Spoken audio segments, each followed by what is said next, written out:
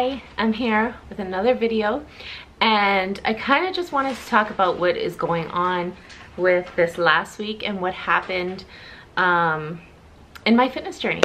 So, because we're in the Get Fit series, so um, I told you guys how this month I kind of just wanted to focus on losing a certain amount of pounds and that's it. No pressure. I mean, not much pressure, but you know, focusing on just this month and not the year as a whole. Because once you focus on the year, I feel like you kind of lose track. You're like, oh, okay, let me go hard. And then I still have the whole rest of the year. And by the end of the year, it's Christmas. And then you're just eating all the junk and everything. So I wanted to share with you guys how this week turned out. Obviously, it's been in the beginning of this fitness journey and I have just been trying to figure out what to do. Why are my kids? You might hear my kids in the background. Um, so I've just been trying to figure out a few things on my journey this week because it's the start of a new week. It's my first week doing getting back to it. Um, and there was just a few things that I wasn't prepared for. So one of the things was my protein. I wasn't getting enough protein and my carbs were like up here, my protein was like here, and then my fat was like on point. Because um, you know with macros you focus on protein, fat, and carbs. So that was the struggle this week. Uh, my goal this next week is to focus on protein. I wanted to focus on certain snacks that had protein in them. And um,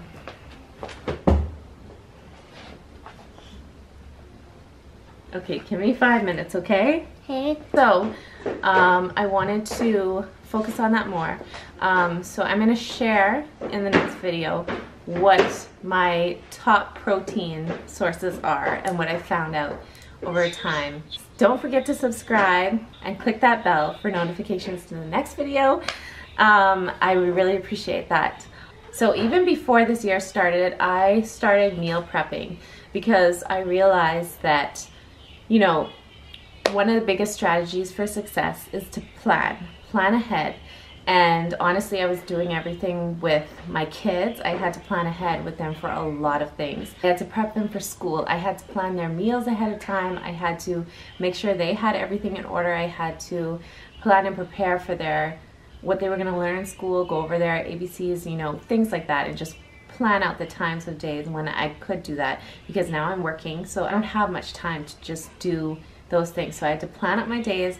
When am I going to do this? When am I going to do that? Once I get home I need to cook dinner or get dinner ready for them then empty out their bags figure out their lunches what's going in their lunch the next day make sure they have their um, school clothes ready um, all of those things. Go over school work with them whatever.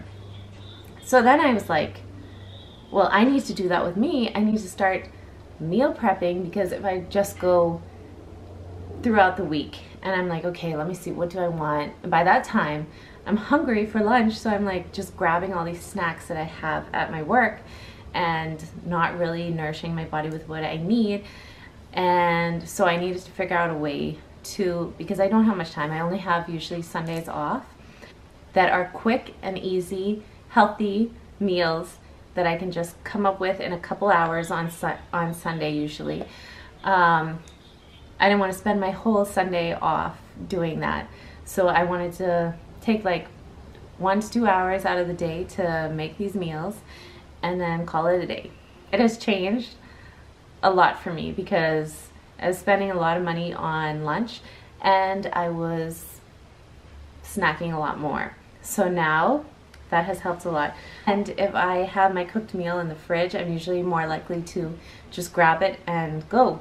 And it's much easier to just stick to my meal plan in that way. And I already have it um, entered in my, I, I use MyFitnessPal because um, because I can easily, easily track my macros on there. So I use MyFitnessPal to figure out what my macros are, where I'm at calorie wise, all of that.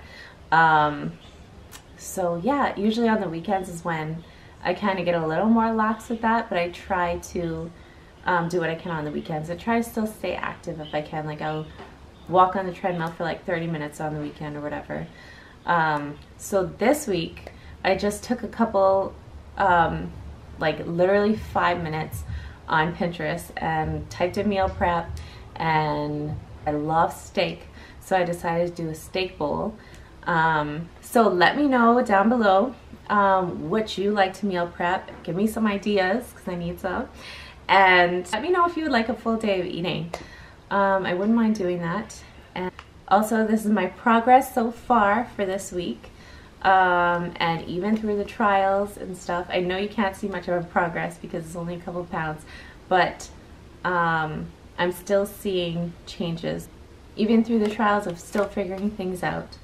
Um, I still lost some weight because of these small changes I am making.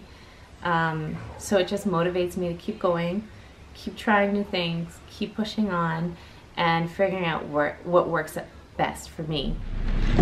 Hey guys, so I had to um, cut this for a second and just let you guys know what happened to me. So last week I got very, very sick. Um, so I couldn't work out or anything. So for the last like two weeks, I haven't worked out or anything. Um, I was basically in bed for a whole week and just like dying. um, but now I'm better, um, but it's already the end of the month and I lost some weight during that, but um, I wasn't able to like work out and do my normal things and eat normally. So, um, yeah, I didn't get down to where I wanted to get to, but I almost got there. I was like two pounds short, so I eventually got down to like 154. So that's not bad. Um, so this next month, I'm going to pivot and just start continue the journey that I was on. So I'm excited. I just wanted to let you guys know that that's what happened at the end of this month. Um, and I wasn't able to do anything for two weeks. So that happens, that's life. And at least I lost some of the weight. And this next month I'll probably take it to um, my goal of trying to be losing like five, five pounds. Um, so yeah. So keep pushing with me and keep that water on hand and I'm excited to hear about you guys' progress and what you're doing. So peace and love guys. Bye. Bye. okay, so my steak in the fridge all seasoned up, ready to go. So I'm just gonna cut it up, put it in the pan, cook it. Um, probably put it up after. But that is marinating. Also, I just bought this protein pasta and um, I've been getting the angel hair one. These are so good. It's protein pasta, but it tastes just like pasta and it's made um, from like lentils, flour, lentil flour, wheat flour, pea protein, chickpea flour, all that. Um, but they taste just like regular pasta. So good.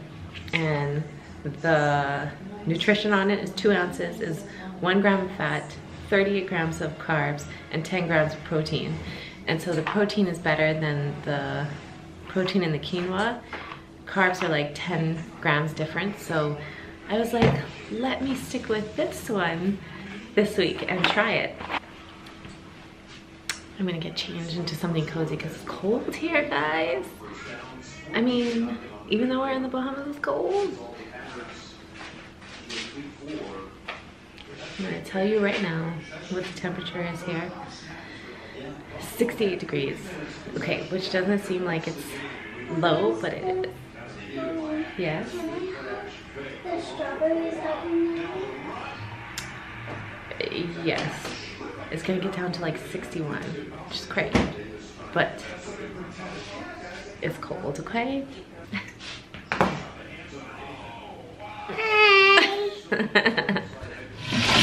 okay, so right now I am cooking dinner and then doing my meal prep too. So I'm doing both simultaneously I'm trying to get it all done. Um, it is 5 o'clock. I got the pork chops going, the potatoes going, and then I'm going to add some broccoli to it. I have the pasta done. I'm going to add some butter for my meal prep. And I got the steak and, and all the veggies and the, and the meat. All over again.